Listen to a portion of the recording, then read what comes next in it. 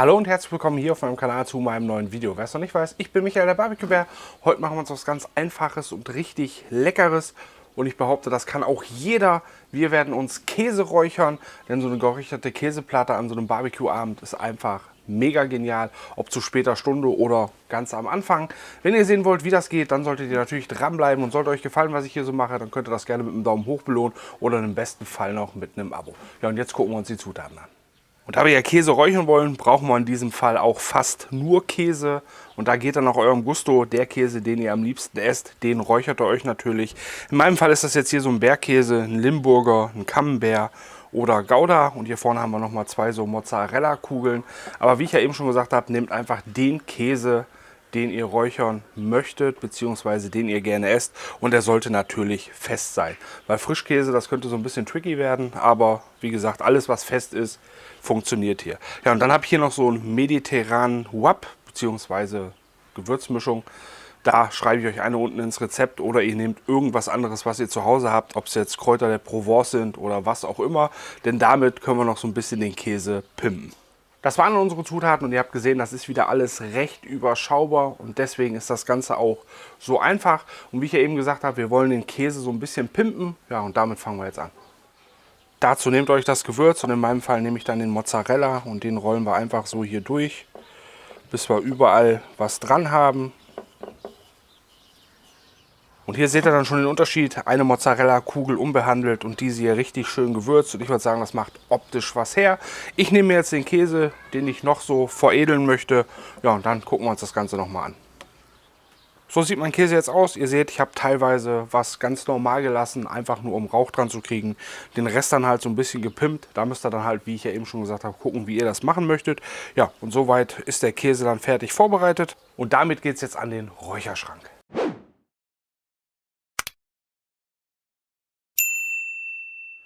So, mein Käse hat dann in meinem Räucherschrank Platz genommen. Den mache ich jetzt zu. Um Käse kalt zu räuchern gibt es ja viele Möglichkeiten und ich habe ja anfangs gesagt, das kann jeder. Ich nutze heute hier meinen neuen Räucherschrank von Drevos. Die Vorstellung ploppt hier oben auf, könnt ihr euch gerne angucken, wenn ihr möchtet. Den werden wir jetzt erstmal in Betrieb nehmen und dann zeige ich euch nochmal die Möglichkeiten, dass ihr das auch zu Hause machen könnt, ohne dass ihr jetzt hier so einen Räucherschrank braucht. Und bei dem Räucherschrank hier ist es ganz einfach. Wir haben hier so einen Kaltrauchgenerator mit an dem Gerät dran. Diese Geräte, die kann man sich aber auch einzeln kaufen. Da werde ich aber jetzt erstmal meine Holzchips reinmachen. Ich werde da ungefähr so ein Viertel reinmachen, weil mehr wie so fünf bis sechs Stunden räuchern müssen wir nicht. Dann hat so ein Kaltrauchgenerator in der Regel hier solche Löcher. Da gehen wir dann mit dem Feuerzeug dran und fangen unsere Holzstücke so ein bisschen anzukokeln, dass die anfangen zu schwellen. In dem Fall haben wir hier einmal ein Loch und hier auf der Seite. Also ich mache beide an. Und ihr seht, das fängt schon ganz leicht an zu qualmen. Als nächstes stellen wir dann hier an dem Räucherschrank unseren Luftkompressor an. Der ist in der Regel bei so einem Kaltrauchgenerator immer dabei. Hier ist er in dem Gerät verbaut. Dann können wir das Ganze hochdrehen, weil wir wollen ein bisschen intensiver räuchern. Und später werde ich dann hier noch die Umluftfunktion anmachen, dass sich das da drinnen so ein bisschen besser verteilt. Aber fürs Erste lasse ich das erstmal so. Und ihr habt gesehen, mit so einem Räucherschrank ist das Ganze in 10 Minuten erledigt. Ihr macht euch den Käse parat, nehmt euren Räucherschrank, bereitet den vor, dann seid ihr fertig, stellt alles an. Und dann muss das Ganze maximal 6 bis 7 Stunden hier drinnen bleiben. Mehr Rauch würde ich dem auf gar keinen Fall geben, weil alles was höher wie 7 Stunden ist, das wird dann zu intensiv. Da habt ihr so einen ekligen Rauchgeschmack daran, dass er von dem Käse nichts mehr schmeckt. Und alles was kleiner ist wie 4, ja, da ist es noch nicht so intensiv. Also ich sag mal zwischen 4 und 6 Stunden in dem Bereich seid ihr da auf der sicheren Seite und der Käse wird dann perfekt. So, und jetzt für die, die so einen Räucherschrank nicht haben, ihr könnt das natürlich auch machen. Ihr habt meine Videos gesehen, wo ich im Karton geräuchert habe. Das heißt, ihr könnt euch einen Karton nehmen. Dann braucht ihr im nächsten Schritt hier so eine Räucherschnecke. Die kriegt ihr für 20, 30 Euro irgendwo im Internet. Dazu dann richtig feines Buchenmehl, weil da könnt ihr hier diese groben Chips wie für den Rauchgenerator nicht verwenden ja, dann macht ihr euch den voll, steckt den an und dann habt ihr auch eure 10 Stunden, was weiß ich, die die Räucherschnecke auf jeden Fall schafft. Da in dem Fall reicht dann quasi die Hälfte, weil wir wollen ja nur maximal 6 Stunden räuchern. Das funktioniert dann hervorragend im Karton. Als nächstes, wer einen Kugelgrill hat, kann auf den unteren Rost, kann er auch hier diesen Kaltrauchgenerator stellen. kann den anstecken, oben auf den Rost legt ihr euren Käse und dann gebt ihr dem dieselbe Zeit. Und dasselbe funktioniert natürlich auch in einem Gasgrill. Das heißt, ihr macht euch den Deckel hoch, stellt den Kaltrauchgenerator rein, packt euren Käse dazu und dann gib ihm. Aber ich habe ja auch schon eben grob angerissen, es gibt Kaltrauchgeneratoren so als Einzelgeräte. Da müsst ihr mal so ein bisschen googeln. Ich werde mal gucken, ob ich irgendwo einen Link finde, den ich euch unten reinpacken kann. Falls einer an sowas Interesse hat, da könnt ihr dann natürlich auch so wie ich hier das Ding voll mit äh, Chips machen. Dann kommt dieser Luftgenerator da dran, der das Ganze so ein bisschen anfacht und dann dadurch halt diesen extremen Rauch erzeugt. Den könnt ihr dann auch in so einen Grill stecken, den könnt ihr in so einen Karton stecken, den könnt ihr in so einen Gasgrill packen. Also auch damit geht das dann hervorragend. So, das jetzt aber so zur Theorie. Ihr habt gesehen, Möglichkeiten gibt es genug, kalt zu räuchern. Ihr guckt, was für euch am besten ist und so macht er das dann. Ja, und das lassen wir jetzt erstmal vier Stunden in Ruhe. Nach den vier Stunden gucken wir einmal rein, denn die liegen ja jetzt hier so auf einem Rost. Und dann habt ihr nachher, wo der Rost ist, dann halt die Stelle, die halt nicht geräuchert wird. Deswegen nach vier Stunden wenden wir das Ganze einmal und da sehen wir uns wieder.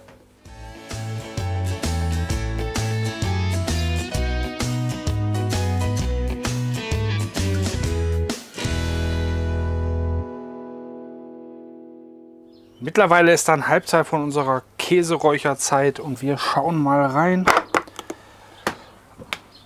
Oh, jetzt lassen wir erstmal den Rauch verfliegen.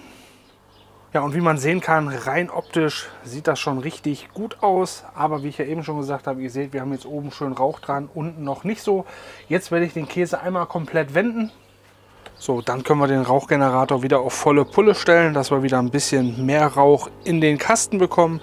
Gewendet habe ich es, jetzt die Tür zu und dieselbe Zeit nochmal. Mittlerweile sind dann sechs Stunden rum, unser Käse hat fertig geräuchert. So sieht das Ganze aus. Und rein optisch würde ich sagen, sieht das Ganze mega aus. Man sieht den Rauch förmlich. Und wenn ich hier unseren Bergkäse sehe, der sieht aus wie Cheddar. Dann noch so ein paar Trauben dazwischen gelegt. Das Ganze so leicht äh, garniert. Ich denke mal, so kann man das dann auf den Tisch stellen. Käsemesser dazu und jeder, der möchte, kann sich ein Stück abschneiden. Ich werde mir jetzt hier so ein Stück Mozzarella und was von dem Bergkäse abschneiden. Werde das Ganze probieren. Ja, weil alles werde ich nicht durchprobieren, weil den brauchen wir noch für was anderes. Ich werde jetzt nur die zwei Stücke nehmen, ein Stück abschneiden, ja, und dann, wie gesagt, wird probiert. Hier habe ich sie dann liegen, meine zwei Testobjekte. Jetzt werden wir hier vorne mal das Stückchen abschneiden. Und ich hoffe, man kann es sehen, wie er vorher aussah und wie er jetzt aussieht. Ist einfach nur der Hammer. Dasselbe machen wir jetzt hier bei unserem Mozzarella. Ja, und die zwei Stücke werden wir jetzt verkosten. Und anfangen werde ich hier mit dem Mozzarella.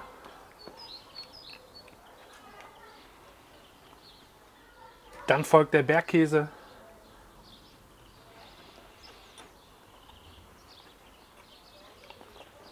Mmh. Wow. So, dann habe ich meine zwei Probierstücke genossen. Bei dem Mozzarella muss ich sagen, der ist ja von Hause aus ziemlich geschmacksneutral. Ich denke mal, ein Kombo mit dem Gewürz und Rauch ist das nochmal eine Nummer besser. So einfach nur geräuchert finde ich den jetzt für mich persönlich ähm, man schmeckt halt nur Rauch und ja, sonst nicht wirklich irgendwas anderes. Also von daher, ob man jetzt Mozzarella räuchern muss, sei mal dahingestellt. Ich werde es nicht mehr machen, weil das ist jetzt in Anführungsstrichen nicht so mein Fall gewesen. Klar, es ist lecker, man kann es essen, aber dann reichen auch ein, zwei Stücke und dann ist man mit der ganzen Nummer auch durch. Ich weiß jetzt halt nicht, wenn man den Scheiben schneidet, geräuchert, macht den auf eine Pizza oder überbackt irgendeinen Auflauf damit. Ich denke mal, das könnte nochmal eine Nummer geiler werden. Deswegen probiere ich das natürlich und dann irgendwann werde ich euch das mal sagen. Dann zum Bergkäse, der ist mega geil, weil der ist von Hause aus ja schon richtig mega würzig, bringt schon viel Geschmack mit. Dann noch hinterher der Rauch da dran, der gibt dem Ganzen nochmal so richtig Fahrt. Das heißt, ähm, geschmacklich ist das wirklich mega. Also Bergkäse kann ich euch auf jeden Fall empfehlen zu räuchern. Den Gouda auch, weil der hat auch genug Geschmack. Camembert plus der Limburger, den auf jeden Fall, weil der hat auch richtig Pfiff und dann noch Rauch dran hammergeil. Also, die Käsesorten, wie ich es jetzt hier habe, könnt ihr auf jeden Fall machen, ohne Probleme. Und wie ich ja gesagt habe, maximal sechs bis acht Stunden. Aha, sechs Stunden hier ist schon vollkommen ausreichend. Ich denke mal, wir legen uns jetzt mal auf sechs fest. Das schickt dann auch vollkommen, ich denke mal vier, fünf. Dann habt ihr so eine leichte, dezente Note. Da müsst ihr halt gucken, wie ihr es machen möchtet. Aber alles, was drüber ist, denke ich mal, wird too much. Und dann habt ihr euch das ganze Ding versaut. Ja, und Mozzarella, wie erwähnt, kann man machen, äh, muss man nicht. Es war ein Versuch denke mal, mit der Kräuterkruste schmeckt er besser, weil er so noch mal ein bisschen mehr Geschmack drumherum hat und nicht so ganz neutral ist und man nur Rauch schmeckt.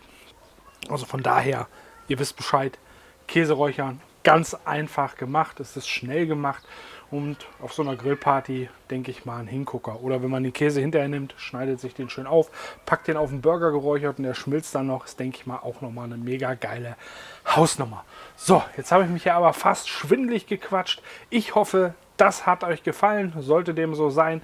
Gebt mir gerne einen Daumen hoch, dann einen freundlichen Kommentar. Seid ihr noch keine Abonnenten, hier oben könnt ihr das nachholen. Da ploppt mein Logo auf, das könnt ihr anklicken.